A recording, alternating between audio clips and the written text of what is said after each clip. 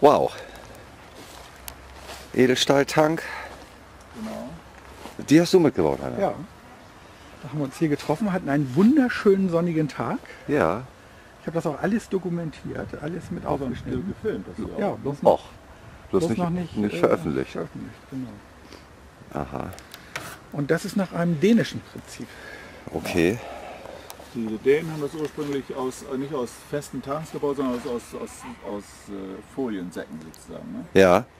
Da ist der Hintergedanke praktisch, diese Säcke kannst du zusammenfalten, auf den Esel laden, irgendwo hinbringen, wo's, wo's, wo du praktisch halt nur mit dem Esel hinkommst ungefähr. Ne? Und das haben wir mal nachempfunden hier.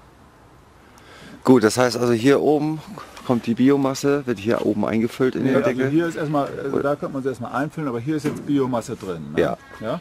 Meinetwegen bis hier gefüllt. Bis hier. Ja. Und Okay. dann bildet sich Gas Ja. und dann drückt praktisch das Gas, diese Biomasse runter, Aha. über dieses Rohr hier, hier in den anderen Tank rein, hier oben rein. Okay. Ja. Ja. So. Und gleichzeitig, gehen wir mal einen Schritt zurück, bitte, Ja, ja. ist hier Wasser drin. Okay. Hier ist Wasser drin.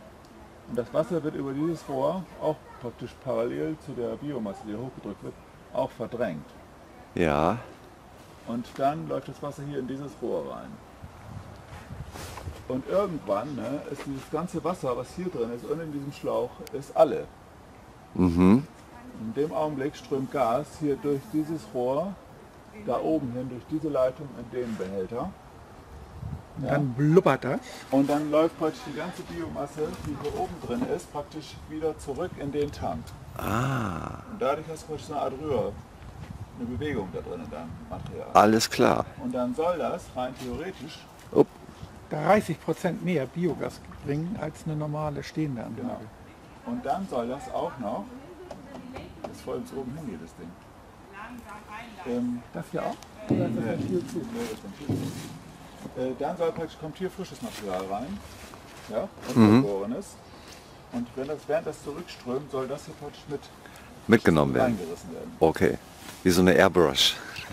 Und dann läuft praktisch das Wasser, was sich hier zusammen hat, läuft über diesen Schlauch wieder zurück und verschließt das hier wieder. Mhm. Und dieser Prozess beginnt von vorne. Wie oft geht das so? Alle zwei, äh, zweimal am Tag vielleicht so? Zweimal am Tag. So zwei, dreimal am Tag. Okay. Wir haben das jetzt nur getestet mit dem, mit dem Druckluft und dem Kompressor. Ja. Haben wir das getestet. Und ähm, da funktionierte das Ding. Ja, warte mal, noch nicht auf, aufziehen. Oder? Also ist jetzt auch jetzt ist auch Biomasse drin, ja? Der ist leer. Also ist Wir leer. haben nur Okay. mit Wasser getestet. Ja. Aha. Das ist ein bisschen ist auch gleich ein Druck drauf, ne? die Luft. Ah, Aber du hast das Ventil offen gelassen da? Das ist auch gut. Also hier hat man den Kompressor angeschlossen, habe einen Kompressor Druck drauf gegeben, um zu gucken, ob dieses Hin- und Hergepumpe geht. Da kann natürlich sein, dass man das mit den Höhen noch angleichen muss. Ne? Mhm. Also dann wäre jetzt sozusagen noch Experimentierraum.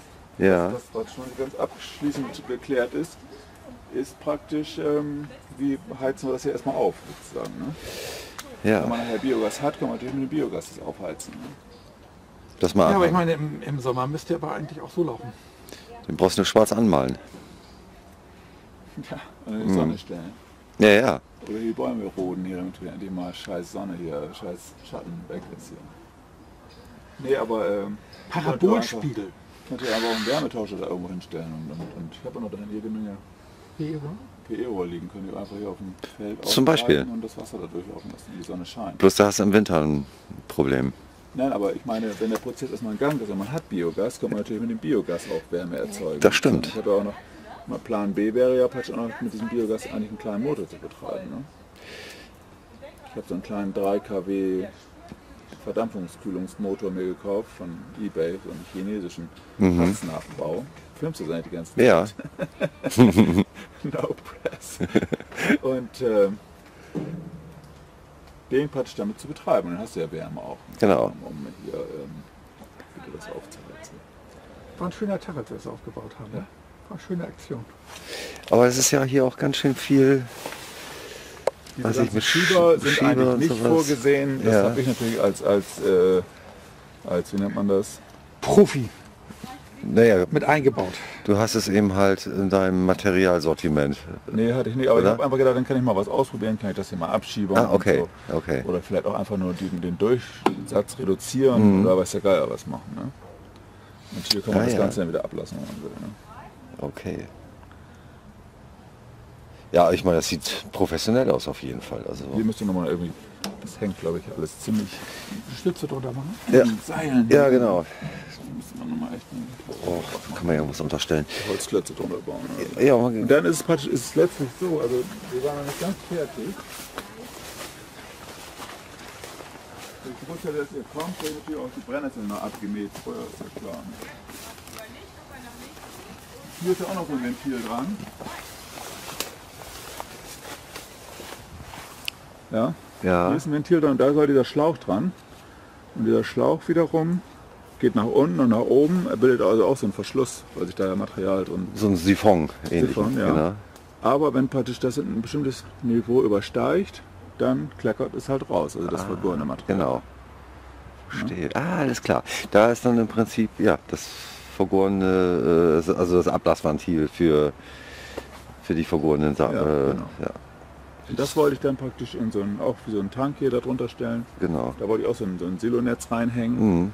dass ich das praktisch auch das Dicke dann vom dünnen trennen kann. Und das kannst du dann nachher kompostieren, Ja, genau. verkompostieren wieder. Ja, ja optimal. Das ist ja schon, äh, das ist ja eigentlich schon Kompost.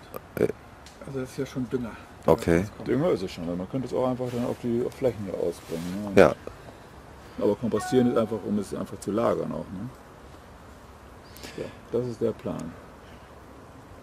Und jetzt wann geht's los? soll eigentlich diesen Sommer noch an den Start gehen, das Ding. Ne? Würde ich auch sagen, ne? Tja, Das müssen wir dokumentieren. Wenn es an den Start geht. Ja. Ja. Also äh, zumindest, äh, gut, ist ja nicht so interessant, wenn du das jetzt hier, äh, ich sag mal, auffüllst, sondern wenn das erste Gio Biogas produziert Ja, wird. genau, das man manchmal einfach mal gucken kann, wenn es schon äh, im Betrieb ist. Genau. Ich könnte natürlich wirklich hier mal äh, ein paar, ich wollte auch aus PE-Rohr einfach so eine Spirale da unten reinpacken. Ne? Ja, Einfach so eine ganze, so eine ganze Rolle PE-Rohr kann man da reinschmeißen als, als Wärmetauscher. Ne? ja. Oder? Ich würde das mal auch ohne Wärmetauscher probieren. Ich glaube, das geht. erstmal so. Ich glaube, das geht. Die Dinger in China, die sind ja einfach nur eingebuddelt. Bei Erdtemperaturen von 12 Grad. Ja. Und die laufen ja auch. Ich habe meine zum Beispiel ähm, im Heizungsraum installiert. Und zwar ist da vom Wolf so ein Wärmespeicher. Und dann habe ich den ganzen Wärmespeicher nochmal mit Glaswolle abgedeckt und ein Thermometer untergehalten. Und tatsächlich, äh, das Thermometer zeigte 37 Grad an. Ja. Und dann habe ich ein- jetzt eigentlich die, äh, den Fermenter daneben gestellt, alles nochmal mit Glaswolle eingepackt.